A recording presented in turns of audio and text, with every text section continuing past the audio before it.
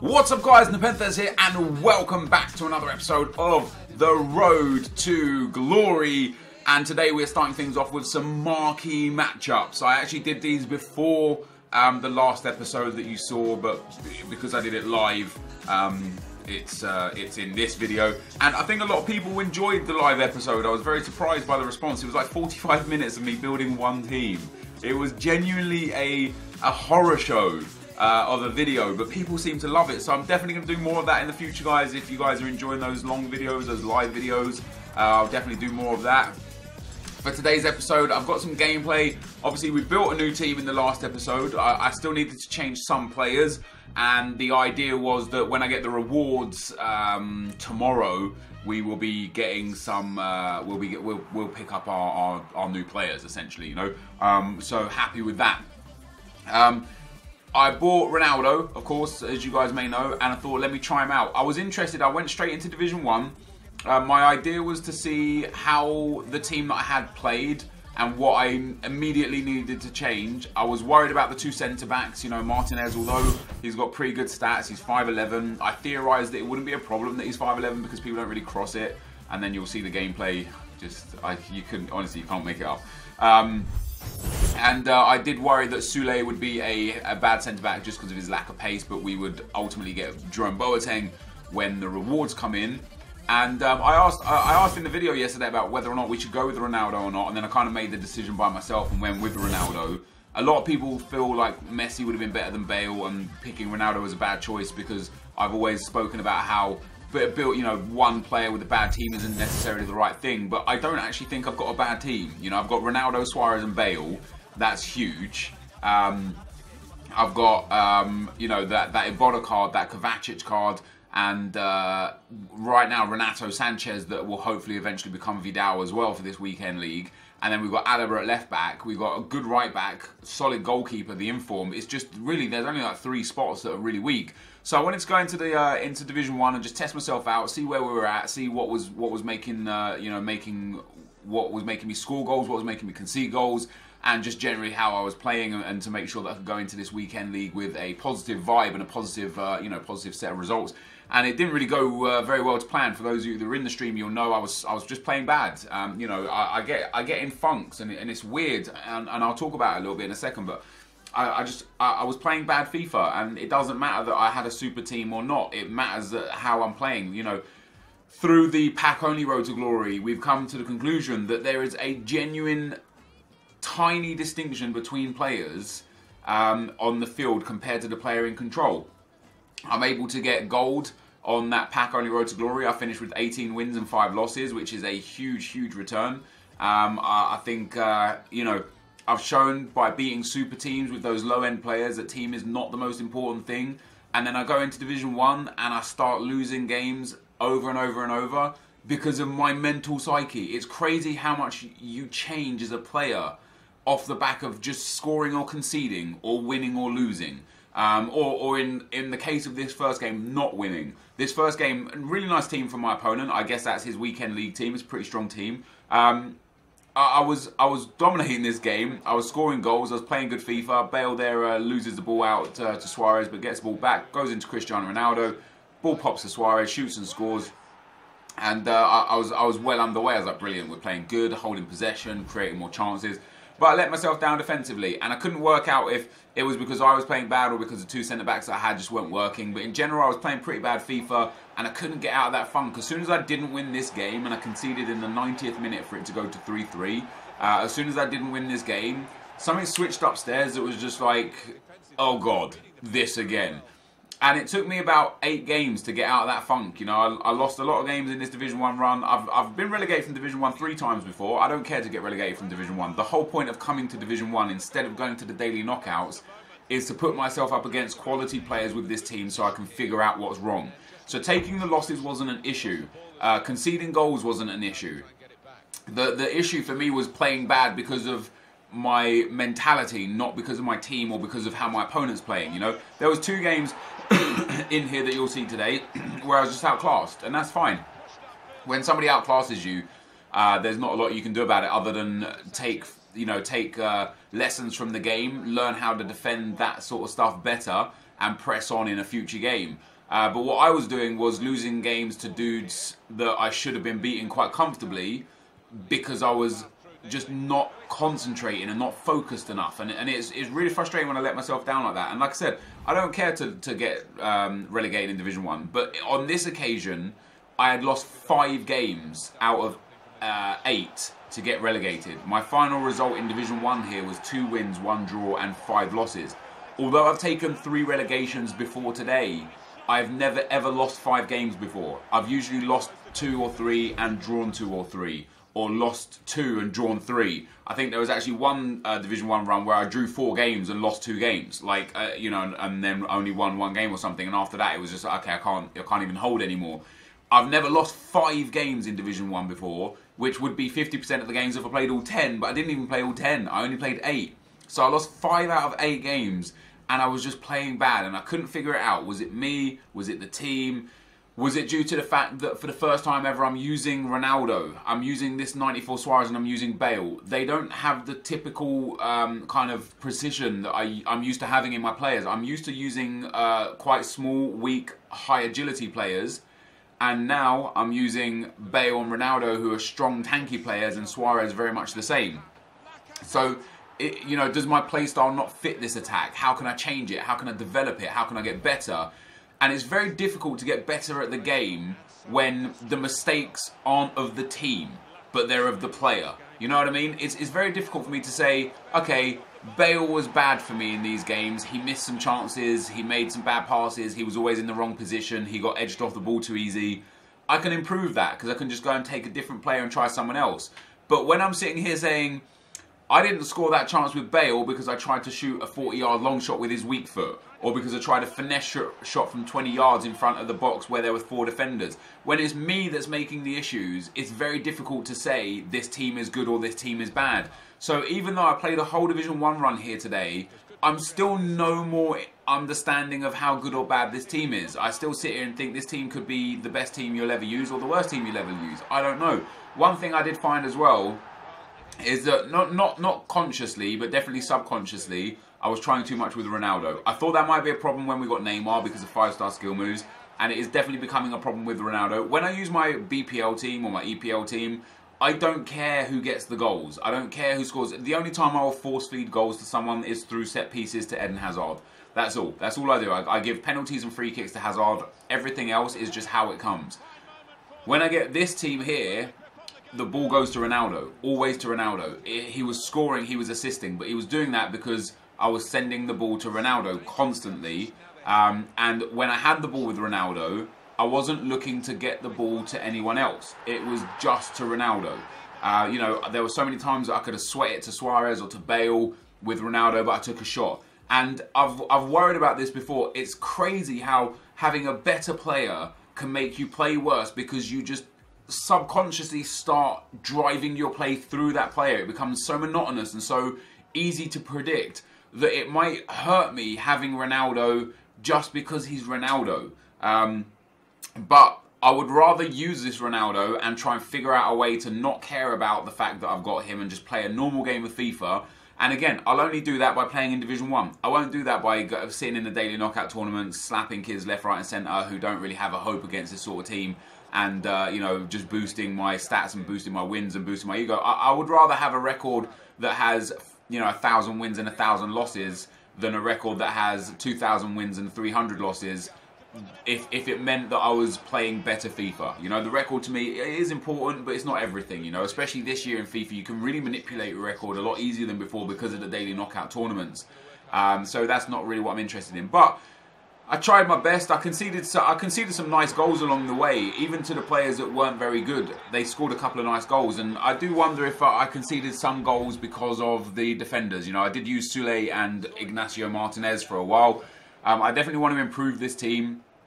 I definitely want to uh, get the centre backs changed. I'm, I'm, I'm tempted to go with uh, with Martinez and Varane, um, or Pepe and Varane in in defence, and maybe Keylor Navas in nets and go for a La Liga side there and literally only use Renato Sanchez and Alaba at left back. But even if then I'm going to do that, I could just go and get Jordi Alba at left back instead and play instead of Kovacic, who I, I looked at Kovacic's stats. We'll talk about Kovacic in a second, but in general, I could I could play like Modric, James Rodriguez, and and Zonzi, Iborra. Like there's a lot of choices there from La Liga. Um, but uh, in terms of Kovacic, he's got better stats in key areas than than Modric, in my opinion, for, for what I need out of a midfielder. Um, but to say that I don't enjoy Modric would be a lie. I think Modric is a fantastic player. But one thing that I noticed a lot during these games here was that his his stamina levels are utterly utterly horrendous. He is absolutely dead by like the 55th to the 60th minute of every single game, and that's not good enough. So on that note, I would probably need to go and get Modric. Um, and like I say, I could go with a midfield of like Modric and uh, James Rodriguez and, Zonzi or Iborra and uh, go that way. I don't know. One of the one of the main reasons why I, I, turned it into a hybrid rather than just a flat La Liga team was actually because of the goalkeepers. You know, there, there's there's not so many great goalkeepers in La Liga, and the, the better goalkeepers, Oblak and Navas, are typically frowned upon. Um, people people just think that they're bad goalkeepers. So I'm I'm sticking by a stigma of other people's opinions, and that's not the right way to play FIFA. I enjoyed Keylor Navas when I used him. He made as many mistakes as any other goalkeeper I've ever used, but in general he was pretty good. So I'm I'm now after playing these games and, and looking back and whilst I was editing this footage up and stuff, I sat there and I thought, you know what I'll probably do? I'll probably get rid of Alaba. I'll probably get rid of that goalkeeper that I bought, the Inform, for like 70k. The centre back that I bought, Vogt, there for like 30k. I'll keep Renato Sanchez on the bench. I'll go out, I'll buy Modric, I'll buy Pepe, Varane, Alba, maybe uh, Navas, maybe Oblak. And then with the rewards, we'll see if we can strengthen anywhere else as well. That'll be my plan. And if, if we get something amazing in the rewards, I'll definitely be interested in swapping out Bale for Messi because I've not been enjoying Bale and and I know that I enjoy Messi in this game, so I would be interested to swap out Bale for Messi. However, guys, um, talking about the team too much, we've got some comments from you guys. Uh, Theo Bennett says, "Hey Nep, do you think EA will release an SBC on Peter Crouch?" Becoming a Premier League 100 or club or Peter Crouch breaking the record for the most headed goals ever in the Premier League. Even though it's late, they did the same thing with Buffon's milestone SBC, and I would love an SBC Crouch. Would love to hear your opinion on the topic. I love the great content. Keep up. Well, thank you, dude. I appreciate that. And um, as a lot of the replies suggested to you, I have talked about this before, but this this comment had a, a you know considerable number of thumbs up. And um, because of that, I know that I talked about this a long time ago, and there are a lot of new viewers on the series and on the channel since then. So I'll mention it again. That I don't think they'll do it for something as low rated as 100 goals or something like that for Peter Crouch, because once they open that can, they then have to follow the trend. So at that point, every player ever that gets 100 goals will now have a, an SBC card every player in every league ever that does anything of even semi-notable notori- notoriety, they will have to give an SBC. And what that will do is it will just cause a flood of too many SBCs. And I'm all for SBCs, right? But Walcott just scored his 100th goal. Crouch broke two records there. We've seen other record breaker cards not get rewarded. Uh, you know, I think one player recently just played 500 games for a club. They, they can't do it for. It has to be like a near unachievable milestone, in my opinion, for them to turn it into an SBC.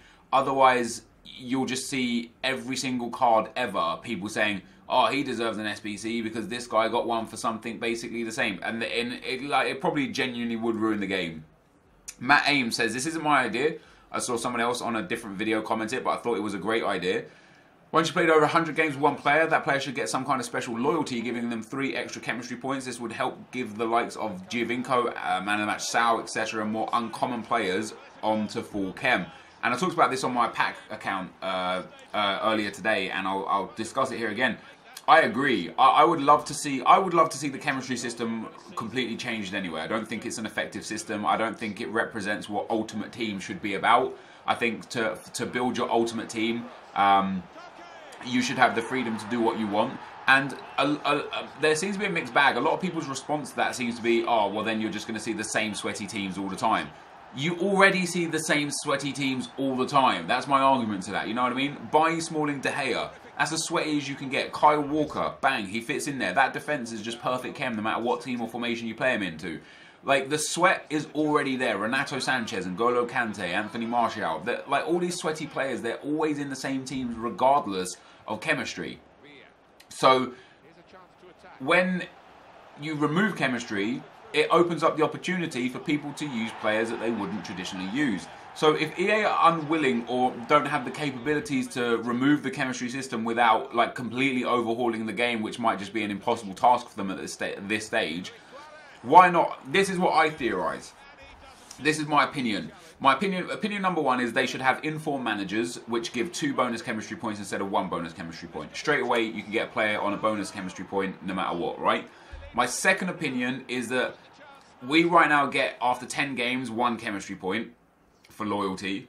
I think after 25 games we should get a second point.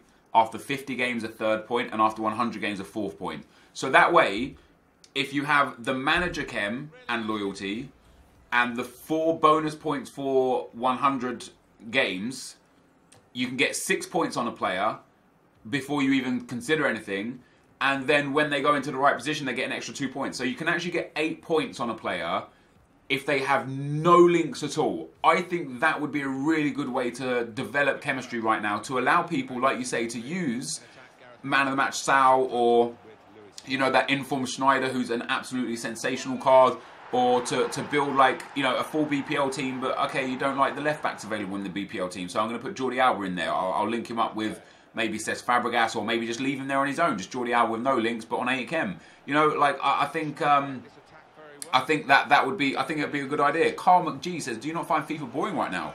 I'm struggling to have fun, and there is nothing to do. I love FIFA now, dude. Last year, mo most years in FIFA, the first sort of like week or two, I'll play 100 games, maybe 150 games, and I'll because it's a new game, I'll be like, man, I love this game. I love this. I can't get enough of this. And then I'll get burnt out so quick because there's nothing. This year in FIFA, with SBCs, with all the promotions that EA are doing, there is very rarely nothing to do. The daily knockout tournaments are, although I, I agree there should be a regular, like, standard tournament that's just there all the time, the daily knockouts are great. Twi- twice a week you get tournaments that offer you rewards that you don't usually get.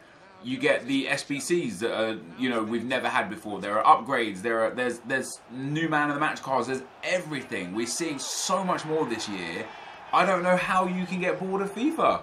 Um, Thomas Atherton Barnes says, "What's your corner techniques? Struggling to score." Well, my, my corner technique tends to be give the ball away needlessly, get counted on, and concede. That that seems to be like my go-to corner technique, really, right? Um, but there, there's there's like there's three techniques that seem to be pretty relevant right now. Number one is play it short, try and get it into the box and score a goal that way. Number two is the near post cross to the to the guy who's standing at the near post, hopefully for the header. And number three seems to just throw it in, in or around the penalty spot and see if you can get a header on it. Um, all three of them are very, very erratic in their effectiveness. And more often than not, I concede counters. Not necessarily goals, but definitely I concede counters um, from corners and set pieces more than I don't. I would genuinely say that if, if, if, let's say I've had a thousand corners in FIFA 17, I would genuinely be under the impression that at least 500 of those resulted in opportunities for my opponent to score rather than an opportunity for me to score. That shouldn't be how it works, but it is.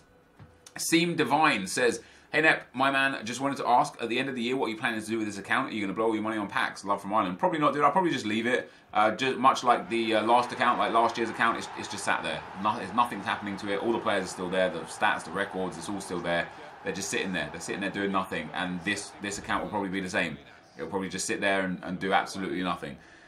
Um, Paul says Messi above Bale. Um, you know, your opinion and everything. I don't necessarily disagree, but uh, I know a lot of people do love Bale this year. Um, me personally, I've I've struggled with him. He hasn't really done much for me. Last year, was one of my favourite players in the game, hands down, no question about it. The year before, very much the same. In fact, for the last three years, Gareth Bale has been an absolute commodity in my teams. This year, again, I, I feel like I prefer the low center of gravity, high agility, small players. They just seem to fit my, my playstyle a little bit better. So um, on that note, for me personally, and, and seemingly for you, I do think that Bale uh, might have to be changed for Messi as quick as possible. Declan Kelly says, Nep, just wondering if you think it's a good idea to invest in MLS players for one of next week's requirements for the daily knockout. Um, yes and no. I mean, it's, it's not a bad idea, but the problem is everyone now has, has become so wise to the early investment and the early uh, kind of selling that it actually crashes that market in itself. You know, people become so wise to the SBCs that they just prepared themselves. Bronze pack method. When this game first started and a brand new SBC came out that required bronze players, those players would be near extinct and at 10,000 coins for all of them most of the time. Now, because everyone's got a club full of bronze and silver cards, when an SBC drops, or when a team requirement like this daily knockout tournament for the MLS stuff drops, the problem you have is everybody that has saved these cards has been waiting for this. They all dump them at the same time, which actually drives the price down. Um, so you may well make profit. You know, everyone did it with the 83 and the 84 investing. I made like 300,000 coins off of that for one promotion. And then the next promotion, I decided not to invest in them because I was worried that people had overinvested, would dump and it would crash the market. Lo and behold, they only went up by about 10 or 12% rather than by about the 100% that they initially went up by. So it's never a bad idea to invest super early to the point where it's going to be cheap. But I would also say, um, you like there's more risk now because there's more people doing exactly what you're doing. There's more people wise to the fact that the early bird catches the worm and that could be problematic for you in the long run, and it could just eat into your profit margins in the long run. Um, however, you know, take your gut instinct on board. Tell whatever your whatever your gut is saying you should do, just do that. And if you lose coins, who cares, man? It's, it's just coins. You know what I mean? It's, it's not the end of the world as long as you still got a usable team, a playable team. Doesn't really make any difference. This was the uh, the final game for me, guys. The final nail in the coffin. Uh, this guy just he deserved the win. He was far better than me. He scored three fantastic goals. Um, and uh, yeah, it, was uh, it was a, it was a, a, a, destructive way to get relegated down into Division Two. However, we got relegated. He thoroughly deserved that win, and for me, uh, that that was uh, that was the the last straw for me in getting angry. I went into Division Two after that and started winning games, but you'll see that in the next episode. But yeah, uh, this guys is going to be the end of the episode. If you did enjoy it, be sure to leave a like, rating, comment, and subscribe to my channel if you haven't already. But for now, guys, I'm out. Peace.